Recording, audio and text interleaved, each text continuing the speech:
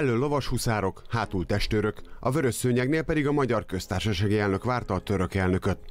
Recep Tayyip Erdoğan első útja a Sándor palotába vezetett. A rövid találkozó után nem sokkal már a parlamentben fogadta Orbán Viktor miniszterelnök készfogását. Több mint egy órás találkozóik után bejelentették, katonai együttműködést indítanak a két ország között. A két ország közötti katonai együttműködésnek a szintje eddig alacsony volt. Ezen most változtatni fogunk, és egy erőteljes hadipari együttműködést szándékozunk kialakítani. A magyar kormányfő és a török elnök megállapodott a két ország közötti gazdasági forgalom növelésében is.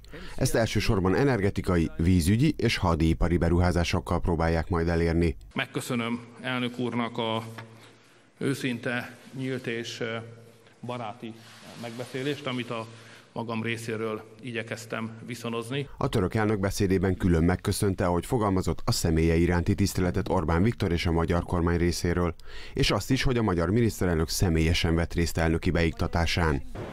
Nem mindenki örült a török elnök budapesti látogatásának. Ez a nő Erdoğan konvojának akarta megmutatni a molinót, amelyre azt írta fel törökül, hogy sajtószabadság. A rendőrök azonban igazoltatták és arrébb kísérték. Közben le is késtem le az egészből. Hát, Szintén a konvojnak akarta felmutatni tiltakozó üzenetét Szabó Szabolcs független országgyűlési képviselő. Őt csak körülvették a rendőrök, az ellenzéki politikus pedig le is maradt Erdoğan kocsijáról.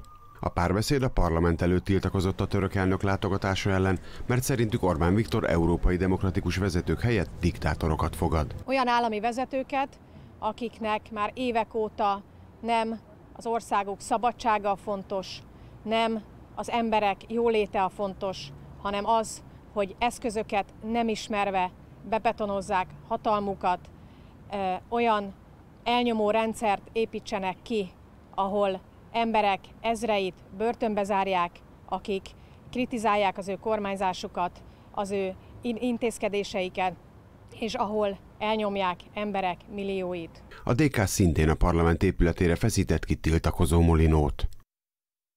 A parlamentben ott van tudósítón Kéri Barna, szervusz, mi hangzott még el, és mit lehet tudni Erdoğan további programjáról?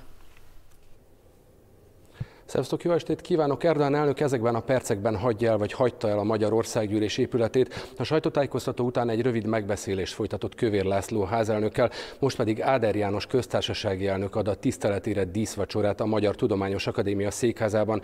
A sajtótájékoztató mi is szerettünk volna kérdezni, de sajnos nem kaptunk erre lehetőséget. Egy török újságírói kérdésre a török elnök azt mondta, szeretné, hogyha az Európai Unió befejezné végre a török uniós csatlakozás lebegtetését, és végre egy határozott igen igent vagy nemet mondanának ebben a kérdésben.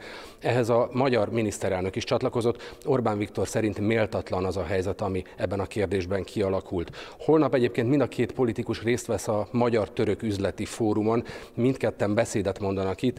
Ennek a jelentőségét, a magyar-török üzleti kapcsolatok jelentőségét mind a ketten kiemelt jelentőségűnek minősítették a sajtótájékoztatón. A török elnök részt vesz a felújított Gülbaba türbéje átadásán is. Ez a török emlékhely amelynek a felújítását illetve ezen, ezek után a működtetését is támogatja majd a magyar állam méghozzá évente 700 millió forinttal.